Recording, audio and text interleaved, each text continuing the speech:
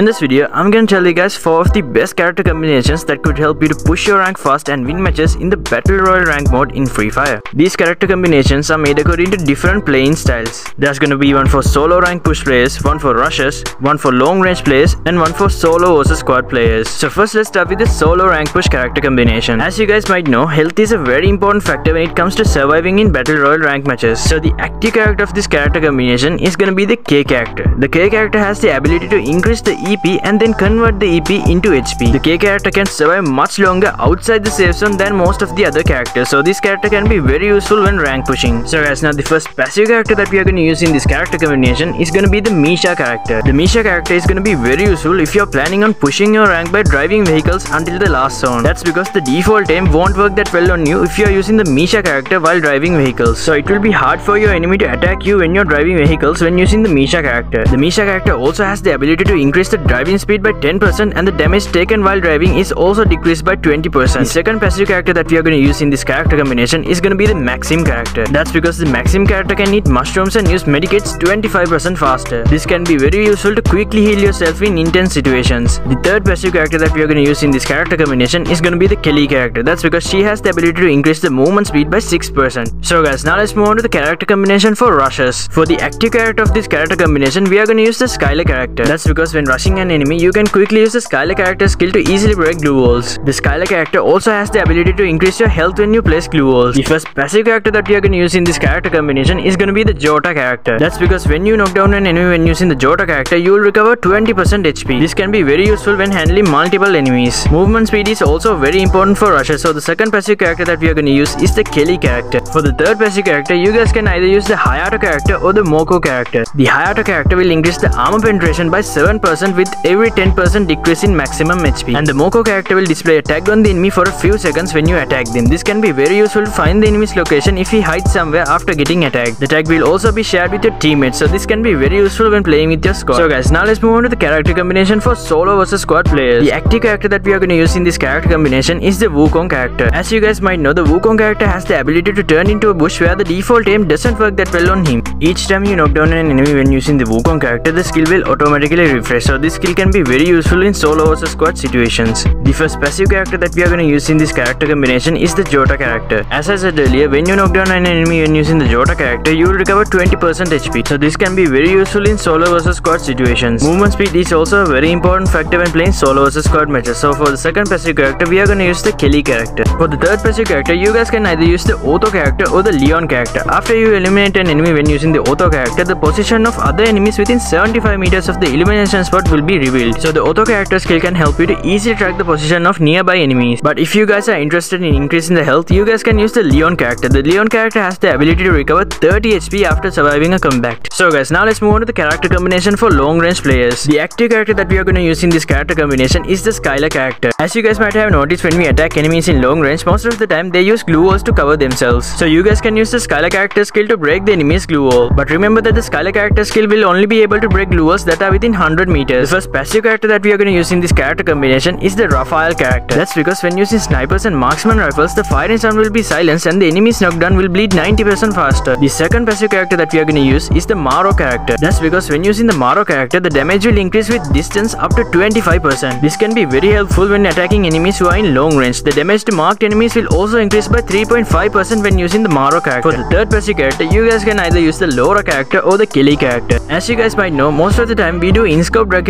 when an enemy is in long range. So if you use the Laura character and and while scoped in, the accuracy will increase by 50%. Now if you guys keep losing many matches in the BR rank mode, you guys might be doing some mistakes. So check out this video if you guys want to know 10 mistakes that players do when playing Battle Royale rank matches and how to fix them.